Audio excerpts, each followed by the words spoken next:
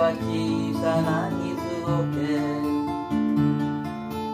君の後に続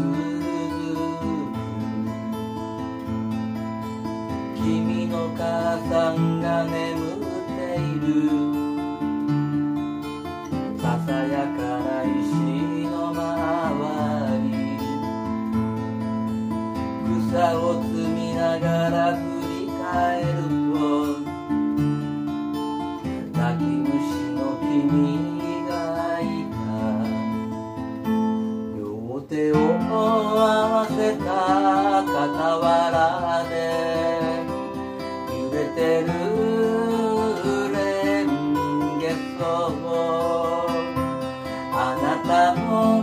大事な人を僕に任せて。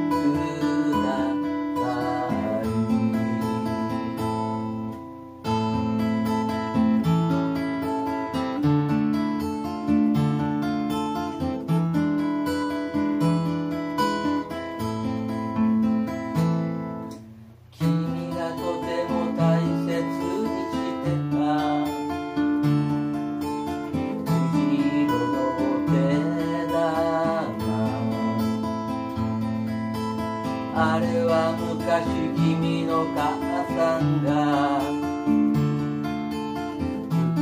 作ってくれたもの。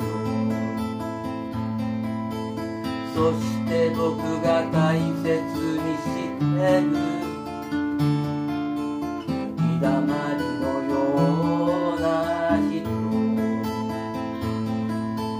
それもそっと君の母さんが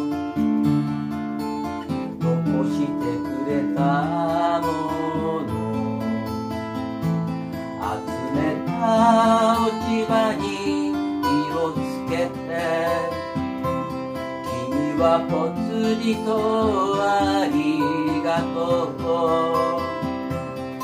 気が結びたら僕の部屋も暖かく